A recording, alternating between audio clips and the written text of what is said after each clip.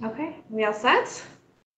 Hi, everyone. I'd like to welcome you all to the July uh, session of the 2016 webinar series. Um, today, Matt Russell, Assistant Professor at the Department of Forest Resources and Extension Specialist, along with Mac Glasby, a grad student in Natural Resources Science and Management, are going to be uh, giving us a presentation on for forest disturbances in Minnesota, what impacts us most. Um, they're going to get started in a second. Before I sign off, though, I'm going to let you know that we're going to be getting back together again in August. And Bill Anderson is going to be giving a webinar um, to discuss the natural resources applications of using drones. So we hope to see you then on August 16th.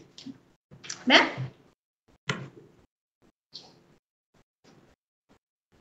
Uh, Thank you, Emily. Uh, Thanks, everyone, for joining us either online or uh, some of us here in St. Paul. Uh, The focus today is really on, on forest disturbances uh, in Minnesota. And really getting the sense of, you know, how do we quantify forest disturbances? uh, And what are the most important ones that impact uh, the structure and function of our forests uh, in Minnesota? So I'd like to just mention some brief acknowledgements uh, for some folks that um, had some discussions with in my, in my years here at, at Minnesota. Brian Schwingle in particular, in help in interpreting the forest health information uh, that the DNR collects.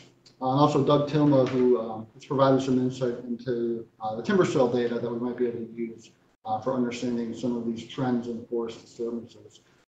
Then, of course, uh, field crews, technicians, specialists, scientists that work for DNR uh, and the Forest Service are really the ones that make um, some of the data sets that I'll talk about today um, happen.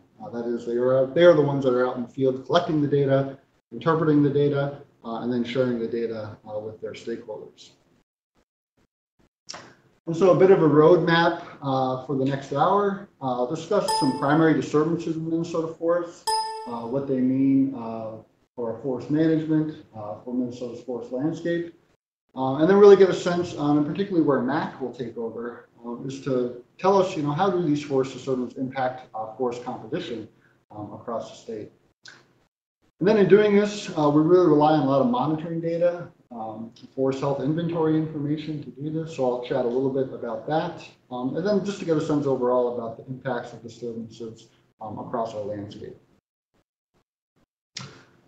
And so if you only wanted to come to the webinar to learn what impacts us most when it comes to forest disturbances, uh, here's the answer, uh, or at least one of the answers. Uh, and we'll talk about why this is just one of the answers a little later on.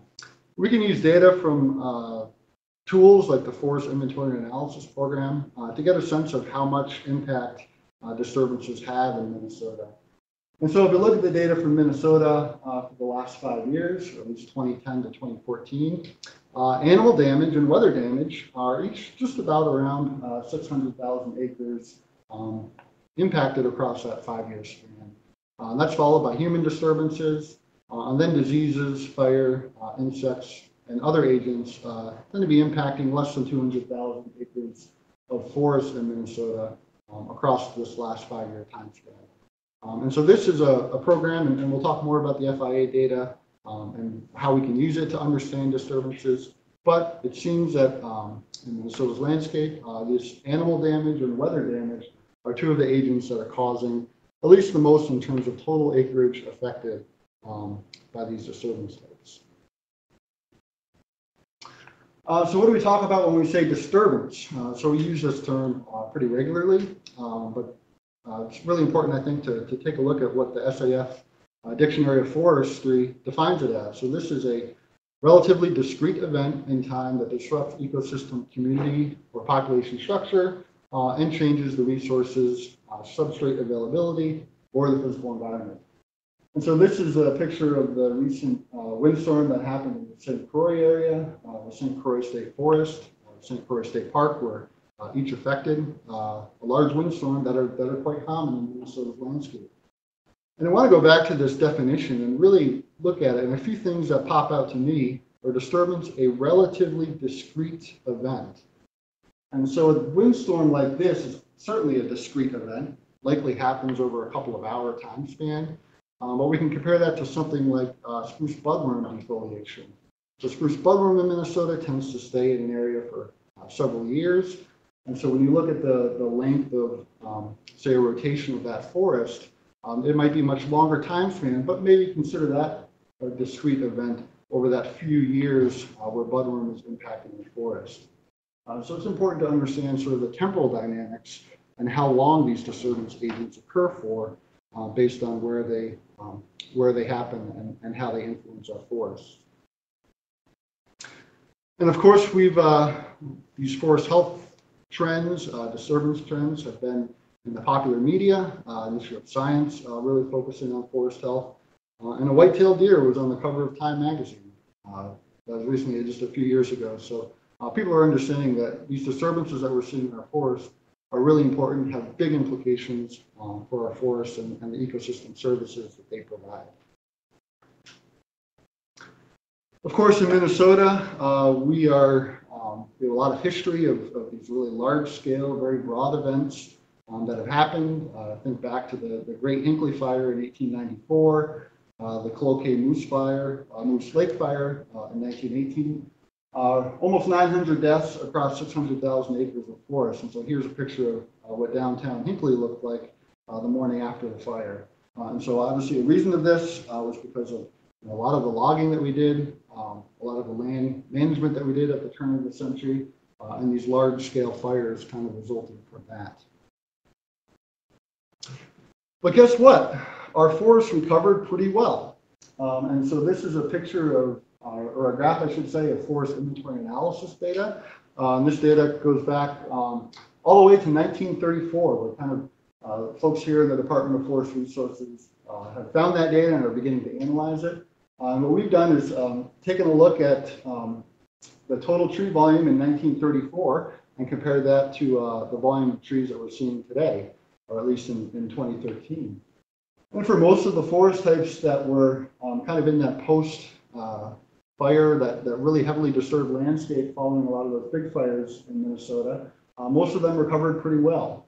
Uh, so just about 7 billion cubic feet of wood uh, on the ground in 1934 in that uh, post-disturbed landscape. Um, we've got uh, twice that now, almost uh, 16 billion cubic foot of wood. So even in just a span of about 100 years, we can see that our forests can respond to these disturbances, at least by, by, by growing uh, and kind of reoccupying that uh, disturbed landscape.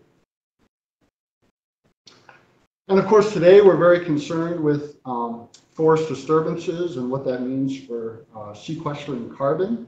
Uh, so on average, about our, our forests sequester, or they take in about 16% of all the emissions that we put out from driving our cars and uh, running our power plants um, every year. And so the concern where forest disturbances fit in um, is if we have large scale events like forest fires and uh, insect outbreaks um, and beetle damage that's, that's occurring in our forests, well, those are killing trees immediately. Those are basically net emissions um, kind of going into, uh, into the atmosphere. And so the ability for our trees, uh, if there are no forests there, obviously we can't soak up that, uh, that carbon uh, to capture in tree growth uh, which is good for uh, kind of mitigating our greenhouse gas emissions.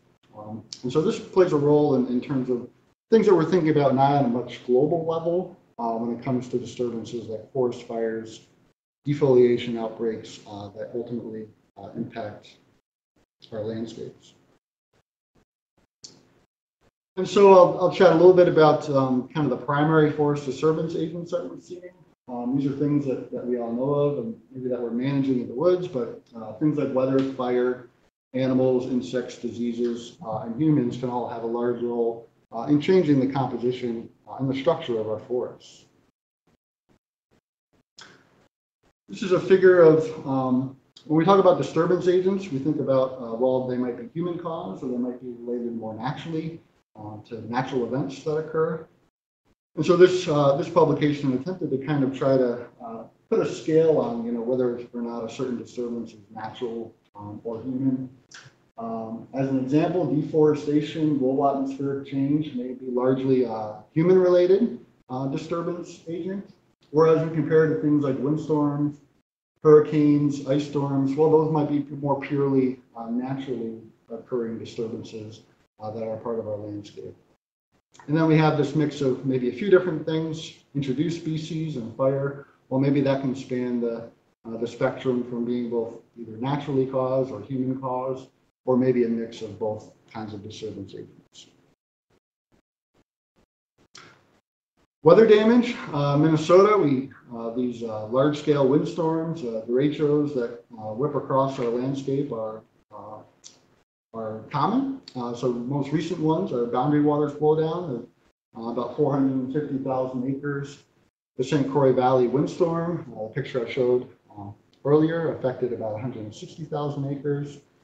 And then we can think about weather damage as influencing other agents um, or other forest health issues. And so things like um, drought that may happen uh, over several years might help to contribute to something like aspen decline. Or maybe this might be a reason why just not alone weather isn't impacting something, but maybe in combination uh, with some other factors, uh, weather might be playing a role um, to uh, to disturbing our forest, to, leading to forest health issues that we might need to address. Of course, fire across the U.S. Um, is a is a common thing, uh, more or less common depending on what uh, forest type or, or what grassland ecosystem you're you're found in. But at least in Minnesota, we're finding that um, a, a lot of our fires and their uh, return intervals, some stand replacement fires as, as low as every 30 years. Um, other kind of mixed severity fires up to about 500 years. Uh, and so those of you that are familiar with the Native Plant Community Guide and, and that classification system uh, can turn to um, kind of some of the disturbance histories uh, that are found within an individual uh, native plant community. Of course, we're very interested in, in wildfires um, and what they mean for, uh, for Minnesota. Uh, wildfires are, are quite common. Uh, we have, uh, this is data, uh, this graph depicts data in which the DNR responded to fires or was the primary agency that responded to a wildfire. So this is primarily on state and rural private lands, but, but excludes uh, federal and tribal lands uh, across Minnesota. And so on average, you can see uh, there's about 1,500 fires that DNR responds to annually. Uh, and this is kind of the distribution. So we have lots of fires, but most of them are fairly small in size. Um, and so this is just a histogram of the, the total size of the fire by uh, how many fires are observed in this database um, that's available online. And so they range in, in, in size from, you know, less than a, less than an acre to over 28,000 acres. On the average is, depending on whether you look at the median or the, or the mean, uh, the median is about one acre. Most of them are small. Uh, the mean, the average is about 27 acres if you take into account uh, those much larger fires uh, that occur across our landscape. Of course, folks are very interested in understanding not just one disturbance, but this idea of multiple disturbances that might occur um, across, across the landscape. Uh, one analysis uh, that was conducted after the boundary waters blowdown um, by, by scientists um, at the U.S. Forest Service uh, was to take a look at um, how much uh, dead was, was a result of that of that blowdown, uh, and kind of separate those into what we call you know forest fuel classes, or to kind of put that deadwood in the context of, of fire risk. Um, and so they're finding basically that those blowdown areas a lot more dead wood compared to non-blowdown areas, and compared to the Laurentian mixed forest province, average, that 212 uh, ecosystem. And then again, we can take a look at um, this work from uh, John Bradford and, and his colleagues, um, taking a look at, um, depending on what, what kind of multiple disturbances are interested, ranging from a control, maybe a stand, a forest that was not affected by any disturbance, uh, to blow down, fire, and then blow down plus fire, and then blow down plus salvage logging uh, plus fire. Just to show you that um, these different disturbance agents, followed by how we respond as, as managers, particularly in the case of salvage logging, uh, can lead to different uh, biomass or, or different carbon or just a different forest uh, structure that, that's out there. Uh, I mentioned animal damage is uh, one of the primary disturbance agents in our forests. Um, we can look to, you know, some long-term research uh, that provides evidence of, of, some of this animal damage. Uh, and so as an example, uh, Mark White, uh, his work with the Nature Conservancy, um, has monitored this um, deer exclosure study uh, in Lake County um, since about 1998. And sure enough, uh, like many of us have been able to see with these exclosure studies, the fenced areas that are free of, of browse impact tend to have at least a higher density of, of individual trees uh, for these trees in these smaller diameter classes, that is seedlings and saplings. And so just to go to show you the, the importance of understanding deer uh, and browse as a, as a disturbance agent in our forest. Of course, we deal with other animal disturbances as well. Um, things like beaver uh, can do flooding, can cut down trees, uh, really lead to, to some management issues that we need to address. Uh, porcupines, yeah, a, a big problem. Uh, things like bear, uh, rabbits and rabbit browse and, and things like that. And then also domestic animals and livestock. Um, so things like silvopastures are very common in Minnesota. Uh, that is where we're trying to grow trees and we're also trying to grow livestock at the same time. Um, so you can think of um, trying to do any regeneration in, in a stand, in a silvopasture, then you might have challenges or at least find ways to address them. Of course, this little uh, bug is uh, the eastern larch beetle. Uh, we had a great webinar um, in the spring uh, by Brian Aukema about the about the eastern larch beetle. Uh, but this is a, a, very big disturbance agent uh, in Minnesota's forests in the northwestern part of the state. And some data from Brian Schwingle, at the Minnesota DNR, and some of the forest health surveys that they've done. This is about 240,000 acres Minnesota's forests that have been impacted by this beetle. Um, and you can see the kind of trend since we first observed it in about 2001. So it colonizes the phloem of terabat, tamarack, sorry. Uh, the outbreaks are really uh, pretty local uh, and of a short duration, at least historically. Um, and so how does this, why is this insect doing so much damage? Well, there's been some uh, so research that uh, Brian Offman and his, his lab have done that, that kind of kind of relate this to uh, warming um, as the primary suspect and uh, what's bringing about this native beetle that's doing so much damage uh, across our forests. Of course, uh, we're always concerned about native forest pests, but uh, the number of non-native forest pests um, is quite high here in Minnesota. average about um, 20 forest pests um, that are found in Minnesota um, are a significant concern for um, trying to undergo forest management um, kind of without these things. So uh, just to show you that um, these non-native forest pests are a concern. We're a, near a big shipping port, Lake Duluth. And as things come over to us, uh, we need to find ways to manage these things um, and to lessen and mitigate their impacts uh, on our forests. Emerald Ash Borer, again, another great webinar we had um, a few months ago um, with some folks from Michigan and, and Minnesota uh, talking about the impacts that EAB might have. Um, obviously discovered in Detroit in uh, 2002, all ash trees are susceptible. And so in some of our black ash swamps uh, in Minnesota where we have about a million acres or 1 billion trees, uh, this is a really important um, insect to, to keep on our radar. Um, and then obviously, yeah, Minnesota has the highest volume of in any U.S. state um, across um, about a million acres, about 1 billion trees um, in Minnesota. So I always have to um, keep finding a new map um, of EAB and, and, where it is because it's, it's spreading. Uh, so I know most recently they found it uh, in Texas uh, and also in Colorado. So uh, from Detroit, Michigan, it's kind of spread east, it's spread south, it's spread west. Um, and so this is kind of um, a snapshot of where um, where it is across the U.S. and Minnesota. I think there are 10 counties uh, that have confirmed EAB uh, in their county.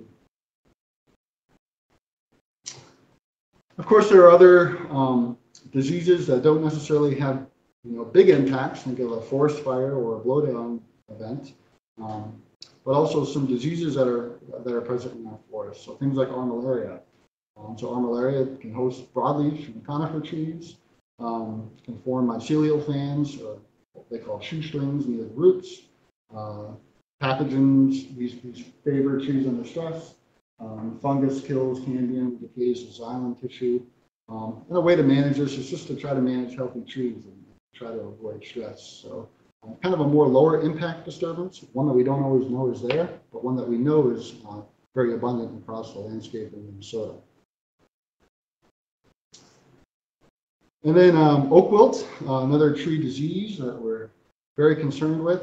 Um, so the map here on the right shows uh, all the confirmed oak wilt uh, locations across the state. Um, this tend to be, at least from the last year's forest health report uh, from the DNR, tends to be uh, moving north well into Pine County now um, as we're um, as we're monitoring the, the spread of oak wilt throughout the state. Uh, this picture on the lower right shows a, a healthy bur oak uh, in the middle of a oak pot oak wilt um, pocket, um, and so just to show you the differences in uh, tolerances to oak wilt agents um, depending on the species of the tree. Uh, and then humans uh, can also be obviously uh, a big and, and important um, disturbance agent. Uh, now we could be um, kind of trying to emulate some kind of natural disturbance. Maybe that's through a, a prescribed fire or some kind of um, silviculture or management that we're doing. Or we could be doing things that, well, maybe don't really have any management behind them. Uh, so this is a, a picture of a, a spoked pattern that um, a landowner in St. Louis County uh, cut up um, because it was a good deer hunting.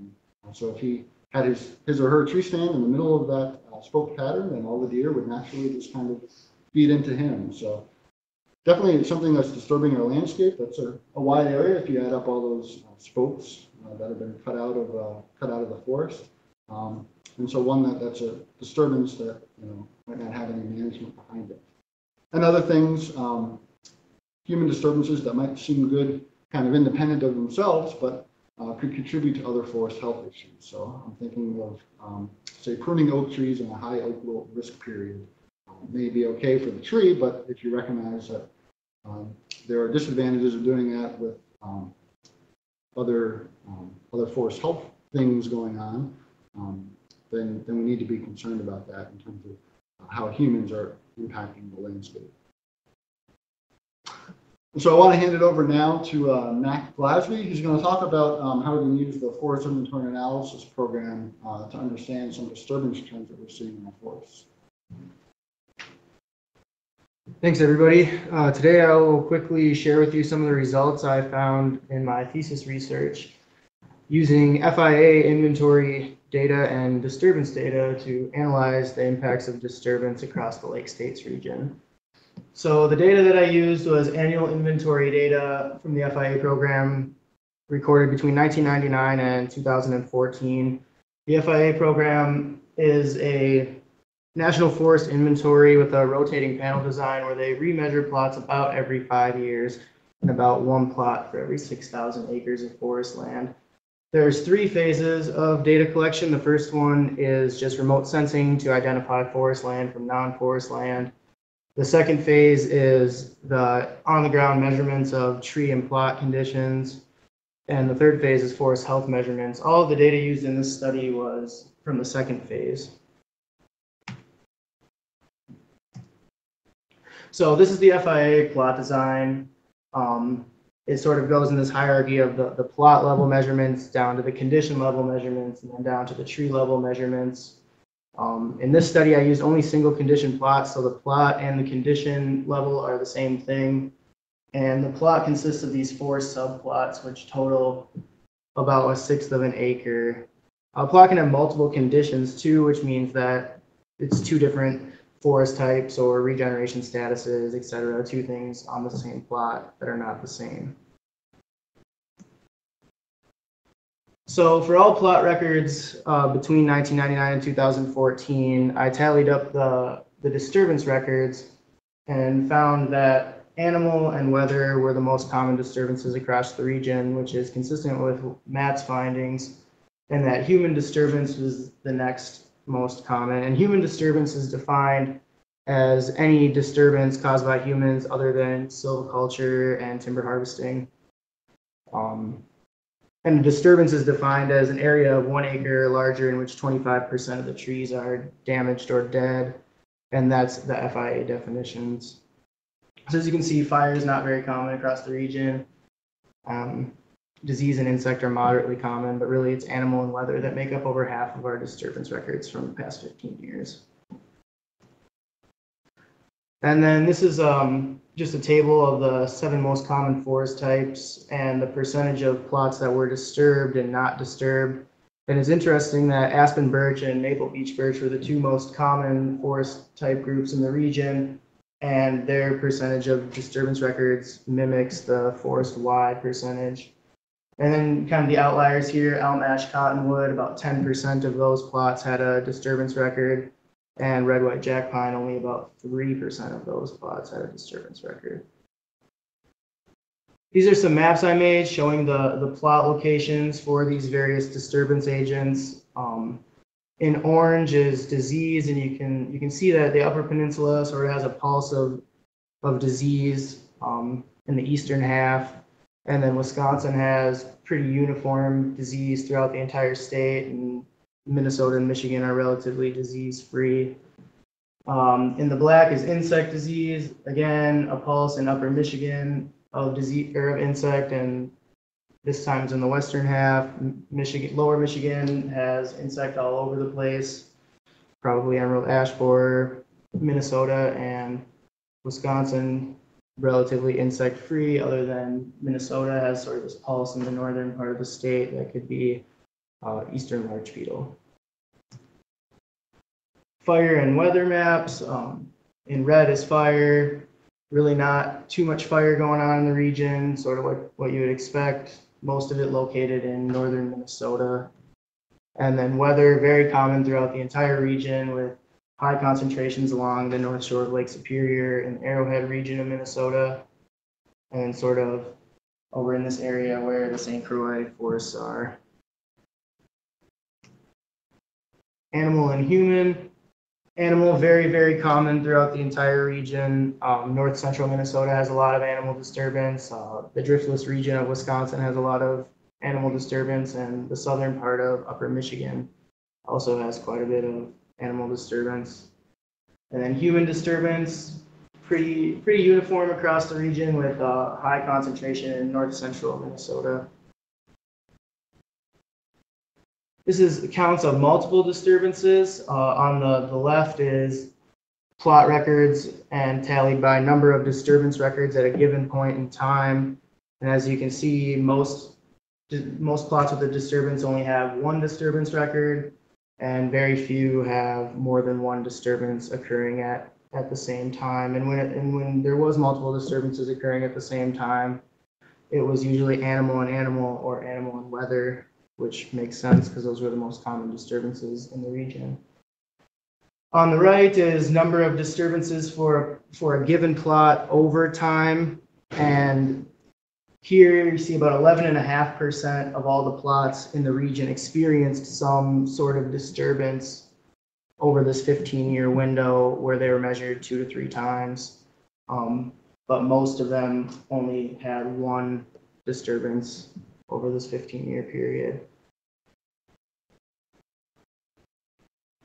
Here's um, change in live basal area by disturbance agent and just kind of as a baseline, non-disturbed plots averaged about 70 square feet of live basal area per, per acre. So really what this is saying is other than human, on average, these disturbance events aren't super severe.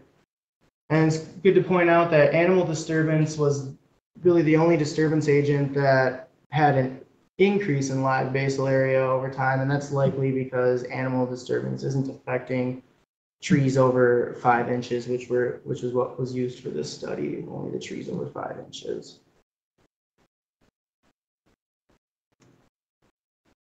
And here's change in standing dead basal area. So a little different story here. The average non-disturbed plot had about 10 square feet of standing dead basal area in trees larger than five inches. And really what we're seeing here is that fire and insect um, contribute to the largest increases in standing dead basal area on disturbed plots. And human disturbance is really the only disturbance that you see a reduction in standing dead basal area. And really in these non-disturbed plots, standing dead basal area isn't changing too much. that's all I have. I will hand things back over to Matt to wrap up this week's webinar. Thank you. Thanks, Mac. And before we move on, are there any questions from online? Not in my chat window that I can see. So- Okay. Great. Well, we'll continue on. Again, if you have questions, uh, feel free to enter them uh, into the chat box. Um, So I want to talk about a different data set that we might use uh, for forest health um, and monitoring disturbances um, across Minnesota. So many of you might be familiar with the aerial forest health survey data uh, that are collected in Minnesota and um, many other states as well. Um, This has primarily been uh, DNR's uh, tool to understand what trends are in forest health across the state.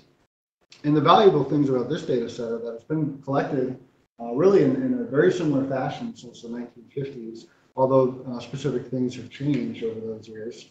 Uh, it's really a collaborative effort. Um, and so uh, the Minnesota DNR Forest Health Team and Resource Assessment uh, collaborates with the U.S. Forest Service, uh, state and private forestry uh, to do these aerial surveys uh, from the from the sky. Uh, so the surveys are trained, the ground checks are performed to kind of get to make sure that the baseline information that they're collecting have good data quality associated with them. So I want to talk a little bit about um, kind of the differences between um, the aerial forest health surveys and the Minnesota FIA data uh, that uh, Mac talked about.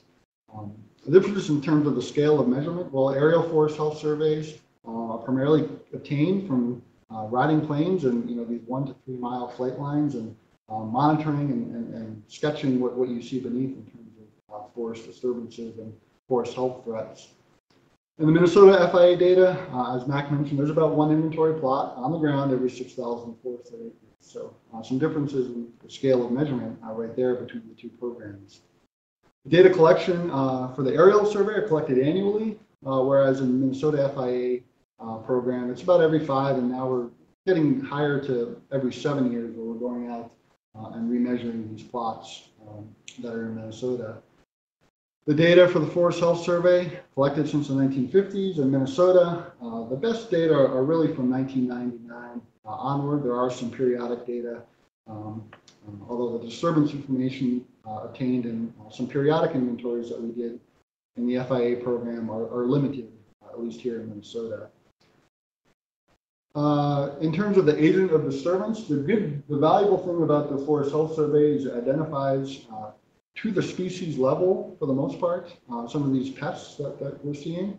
Uh, whereas with the Minnesota FIA data, what we're only getting, what we're really only getting is a broad disturbance class, so something like an insect damage. And so the field crews in FIA are not necessarily trained forest health specialists, but they can identify insect damage, but um, not necessarily what specific species is causing that damage.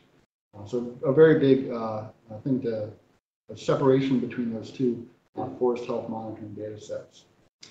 Comparing across states is really not recommended with aerial forest health survey information. Uh, different states collect data in different ways. Um, Missouri uses a satellite uh, program to monitor defoliation, uh, whereas Minnesota uses uh, primarily uh, these flight lines to collect that information. Um, and so although all this forest health survey data uh, from the sky is submitted to the, to the Forest Service every year, making those comparisons between Minnesota and Wisconsin and, and any other state uh, really is not recommended uh, for that data set. Um, the value in the FIA data is that, is that it is collected in the same fashion. Um, that is, it's very consistent across field measurements, what gets cataloged as a disturbance or not a disturbance. The issue of double counting in aerial forest health surveys can be high, um, and that's just due to the standards that they use and really that annual design that's a part of the aerial program. Uh, the double counting in Minnesota FIA program is minimized because it's just a longer time period between inventories. Um, so the fact that you might see the, the same disturbance um, that happened 10 years ago in, the, in the inventory today is just uh, that much more or less uh, compared to if you were to go out and measure something every year.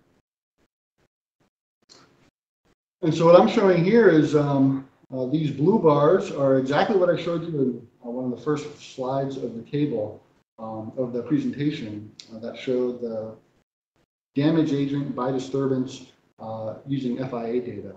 What the orange bars are are the same kinds of disturbance agents, uh, but collected uh, and kind of interpreted from summary tables in the Minnesota DNR Forest Health Annual reports. And so what you can see here is really the, the need not to really kind of compare apples and apples with these two data sets. They're very different in terms of uh, their design. And so what we're seeing here is insect damage. Uh, if we look at the uh, last five years, um, it's quite high compared to at least what we're seeing on the ground uh, from FIA. And that just goes into the, uh, the issues of, of double counting and some of the other issues with defoliation versus mortality um, with, with some of that aerial survey data that's collected um, um, by, by those partners. But we see that there's a really large agreement between, you know, how much weather damage we have in our forests. Um, I believe it's just shy of about 600,000 acres over the past five years, uh, getting about the same number for um, uh, for the FIA data and also for the uh, DNR aerial survey data. And so this idea of, you know, how well do these monitoring programs do to identify these uh, things that are going on in these forest health agents uh, has really been studied uh, quite a bit. So um, Fred Baker is a retired faculty now um, from Utah State University, uh, but he was very interested in, in kind of asking that question, how well do monitoring programs identify something that's kind of hard to see uh, from both the sky and from the ground? Uh, and so he used, his example was dwarf mistletoe, which is quite common in the northwestern part of the state here in Minnesota. And so he did was identified stands that were surveyed by both uh, the FIA program and the ground survey collected by uh, Minnesota DNR. And um, what they found, the FIA program and the DNR survey was just about 10 or 11% of the stands that they visited um, were recorded as having dwarf mistletoe. Now, when, uh, uh, when Fred Baker and his colleagues went out, they actually found that number to be quite a bit higher. Um, why is that? Well, um, they're you know, certainly trained forest health specialists. Dwarf mistletoe is a very hard thing to see um, in the woods, very hard to identify, um, and especially in this kind of uh, low, um, low endemic condition where it might kind of always be there. And so the idea that um, you know we can use these forest health surveys to understand each little thing that's going on in our woods, we might have to use some caution with using this data and realize that um, that there might be you know really identifying some of these things really takes trained specialists um, to interpret and, and analyze them. I want to switch a little bit and talk kind of maybe a little bit more broadly about, you know, we certainly know um, a lot of the ecological impacts of forest disturbances in terms of um, problems with regeneration, uh, losses in biodiversity, and uh, some of our ecosystem services. But there's also a large economic impact um, of forest disturbances the U.S. Uh, and this paper tried to kind of uh, put a number on that uh, by summarizing various uh, disturbances uh, that are common across the United States. And they found insects and pathogens alone cost um, cost the U.S. about 1.5 billion dollars um, annually um, every year. And so some others, landslides, obviously not a, a major problem here in, in, Minnesota, but in other states it is. A lot of weather damages, things like hurricane, fire, and tornadoes. And just in the hundreds of million dollars, the economic impacts um, that these disturbances have.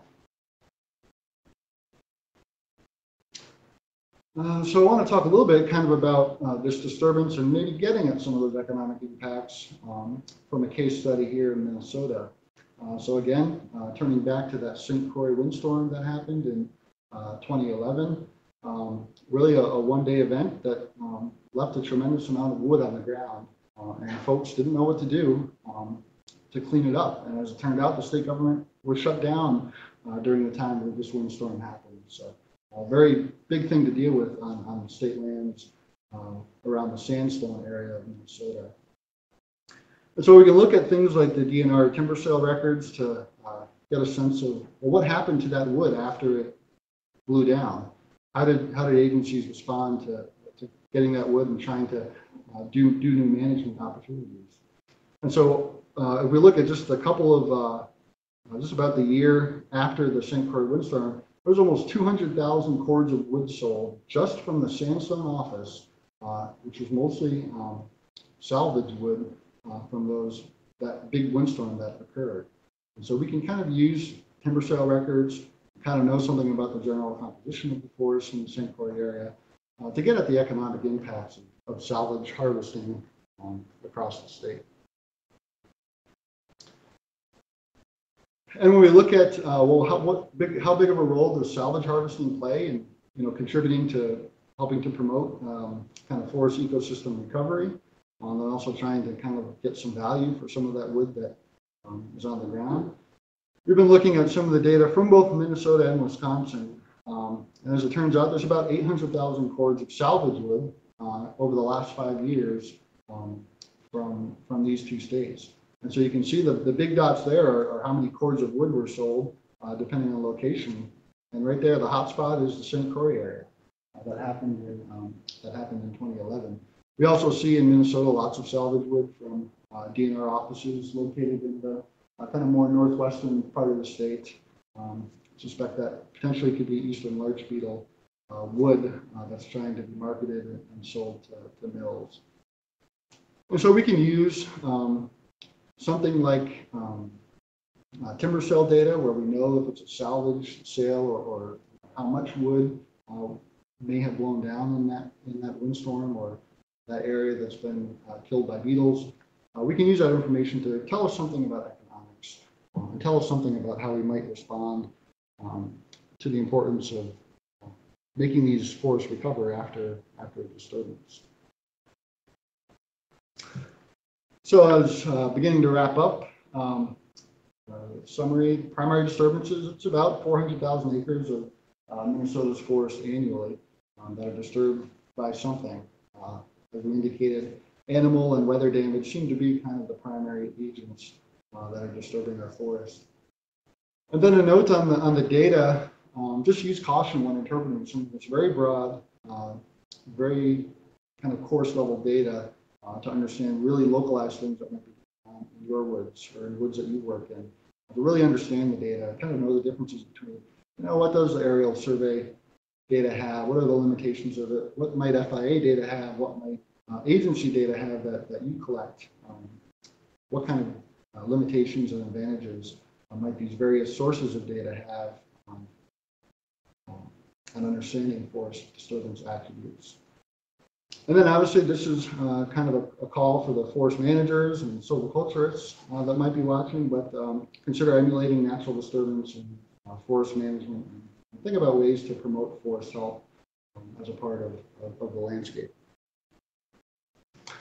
And I'll kind of leave you with uh, kind of the same figure, just looking at very broad trends in, forest health um, as a snapshot of kind of where we are today, at least what's been impacting our forest these last five years.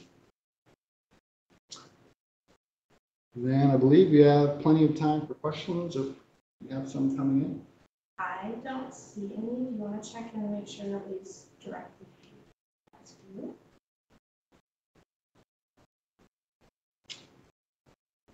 you? Yeah, I don't see any either. I do see, um, yeah, Eli mentioned the, the EAB webinar, um, that we did in May, um, kind of learning from Michigan. Any other questions? No, I'm not. Kind of, what, what can we learn from Michigan and Minnesota that can help us to prepare for that? So really encourage folks to take a look at that webinar, uh, and also the Eastern Larch Beetle webinar that Brian Aukema gave, um, earlier this year at some point. I don't remember the month on that. April. Uh, Matt, uh, we do have a question here from Cloquet. Uh, I hope you can hear me all right. Um, uh, I think when, when Mac was up, we may have misheard, but we thought that we heard him say that harvesting was not included under human disturbances in FIA data. But then when we saw the distribution of human disturbance across the landscape, it sure seemed to mirror where the forest is. So we're wondering, did we mishear that? Is harvesting counted by FIA in, in human disturbance, or did we, uh, uh, can, can you just clarify that for us, please? Thank you. Yeah, Mac, do you want to answer that? The mic should be able to pick you up. Yeah, harvesting is not included in human disturbances. Human disturbances, any activity other than, um, what would be called a treatment, which is going to be timber harvesting and silviculture prescriptions. Yeah, and, so I guess an example of a human disturbance would be clearing shooting lanes, kind of like that, that image that I had in St. Louis County. Um, So not necessarily a forest management treatment, um, but human damage other than forest management.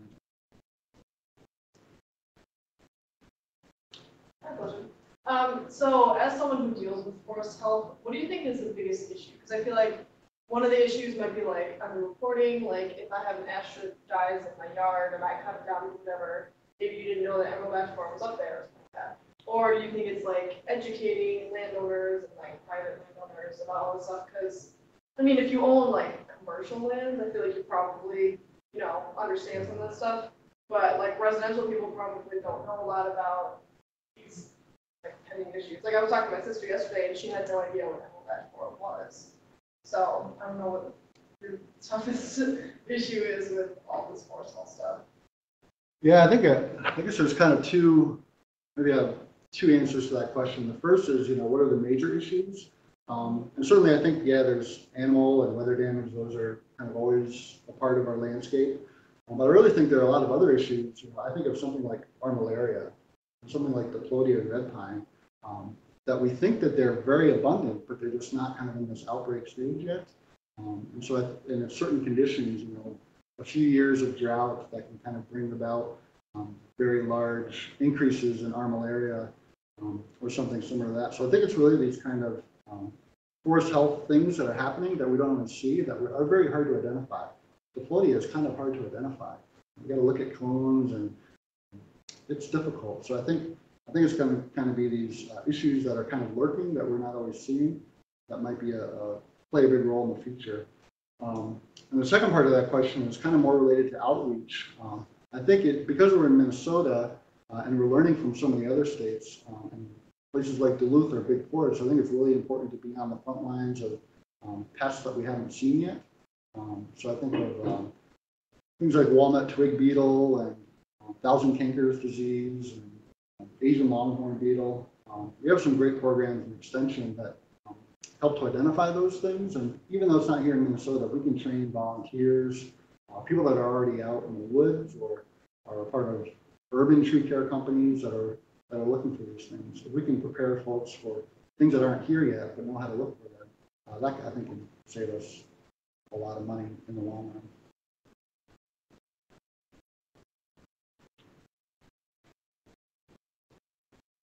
Other questions?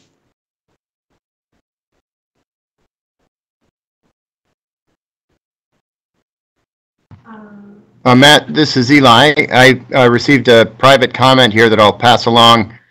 Uh, Comment is, I would think that the removed trees on a shooting lane in FIA would actually not be counted uh, in FIA as human damage because damage is not collected on those trees removed. Just wonder if you or Mac have any thoughts on that. Yeah, Mac, what's the definition again of a disturbance that, is human caused damage or mortality that's not a treatment, which is the treatment is harvesting or some silviculture prescription. So, sort of a vague definition. yeah, and the definition, I believe, is forty percent of the total plot area that has to be affected? It's, uh, it- it's, uh, area one acre in size or larger in which twenty-five percent of the trees on the plot are damaged or killed. So, yeah, that's a great point about, you know, something like shooting lanes, but, yeah, I think, you know, small events, you know, that don't kind of meet that uh, FIA disturbance definition, like, yeah, likely would not be counted, but um, with the FIA disturbances, they really need to be kind of large scale. You need to kind of be able to see them.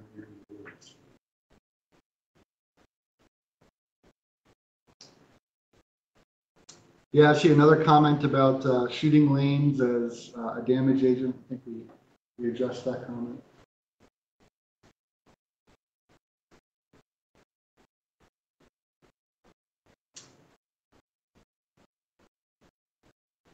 Well, uh, without hearing anything else, um, yes, uh, Emily mentioned the webinar next month. Yeah, on the 16th you share that again, the date and time? Yeah, August 16th at noon, we'll be meeting, um, and Bill Anderson from the Department of Forest Resources will discuss the natural resources applications of unmanned aerial photography.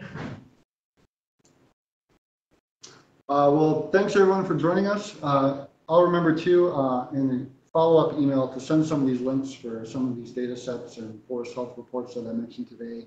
Uh, those will be a part of the, the email as well so with that, uh, we'll sign off now and thanks everybody for joining.